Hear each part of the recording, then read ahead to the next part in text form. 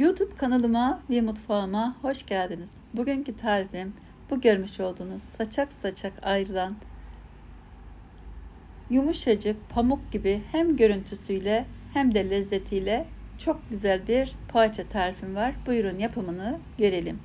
Öncelikle yoğurma kabımın içine bir buçuk su bardağı ılık süt, bir paket kuru mayayı ekledim. Güzelce karıştıralım. 1 yemek kaşığı toz şeker ekleyelim. Karıştıralım.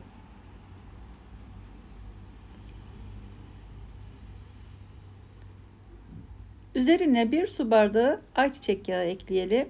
2 adet yumurta kullanıyorum. Aklarını hamuruna katıyorum. Sarılarını üzerine sürmek için ayırıyorum. Güzelce karıştıralım. Toplamda 6 su bardağı un kullanıyorum. Önce güzelce karıştıralım. Daha sonra üzerine bir tatlı kaşığı tuz ekledim. Önce kaşıkla toparlayalım. Daha sonra elimizle güzelce yoğuralım. Yumuşak kıvamda bir hamur elde edelim. Elimize yapışsa da daha fazla un eklemeyelim. Arada elimizi yağlayarak yoğurmaya devam edelim.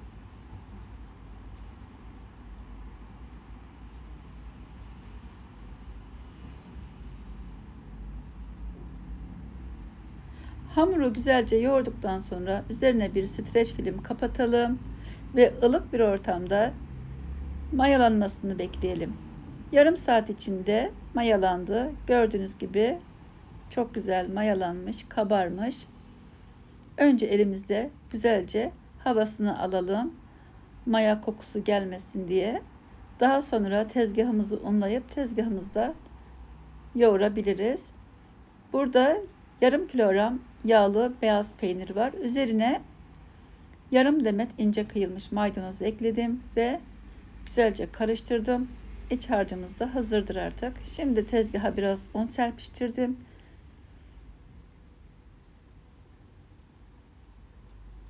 Elimin maydanozları da hamura bulaşıyor. Onları da alıyorum arada. Güzelce hamuru yoğurdum. Şimdi 4 eşit parçaya böleceğim.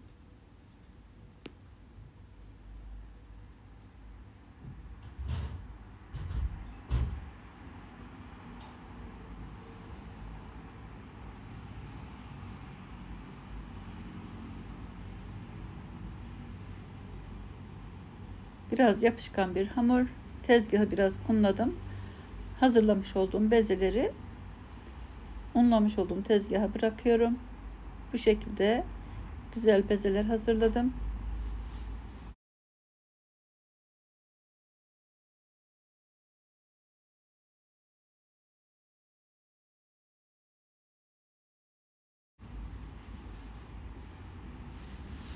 Şimdi hamurumuzu açalım.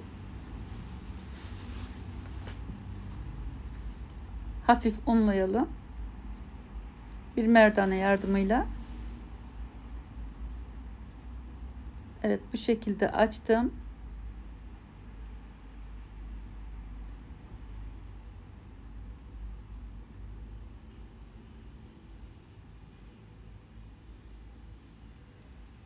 Şöyle köşelerini de güzelce düzeltelim. Sonra 3 eşit parçaya bölelim hamuru. Daha sonra gösterdiğim şekilde kesikler atalım.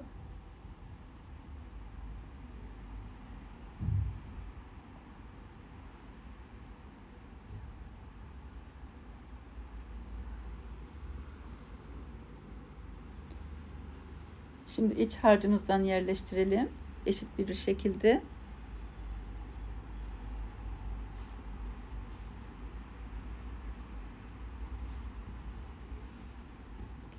Bunu yapıp e, çocuklarınızın beslenme çantasına bırakabilirsiniz. Balıklı poğaça da yapmıştım çocukların beslenme çantası için. Bakabilirsiniz. Gerçekten hem şekli hem de Lezzeti güzel bir poğaça tarifi. İç harcını istediğiniz şekilde kullanabilirsiniz. İsterseniz patatesli yapabilirsiniz. İsterseniz ıspanakla peyniri karıştırabilirsiniz. Veya kıymayı kavurup o şekilde bir iç harcı hazırlayabilirsiniz.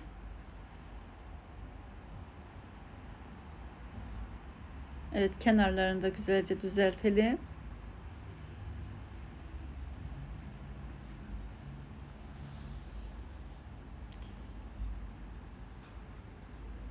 Üç parçaya böldüm.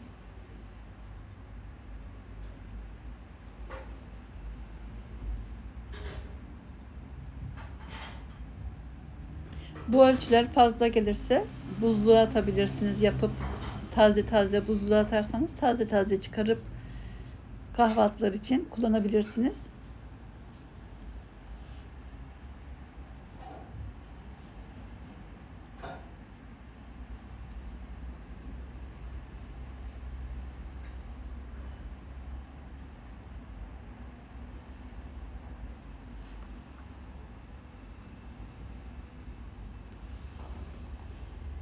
Evet gösterdiğim şekilde saralım.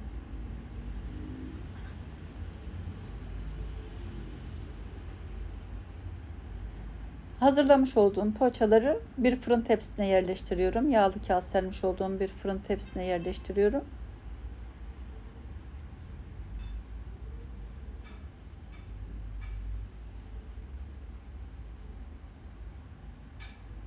Diğer hamurları da aynı şekilde yapıyorum.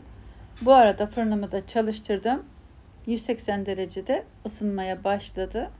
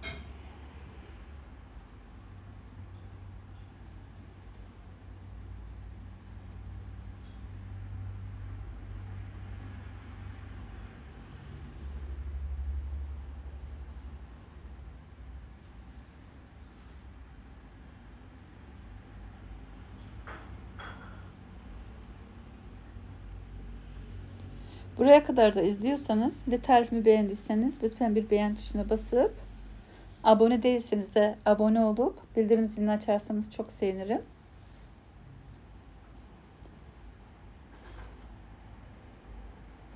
Evet gördüğünüz gibi en kolay ve en lezzetli poğaça tariflerimden biri. Şöyle kesikler üste gelecek şekilde kıvıralım. Görüntüsü daha güzel olsun.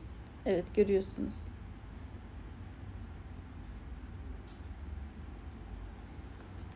Hepsini bitirdikten sonra yaklaşık 10 dakika kadar tepside mayalanması için bekletelim. Mayalandıktan sonra da üzerine ayırmış olduğum 2 adet yumurta sarısını sürüyorum.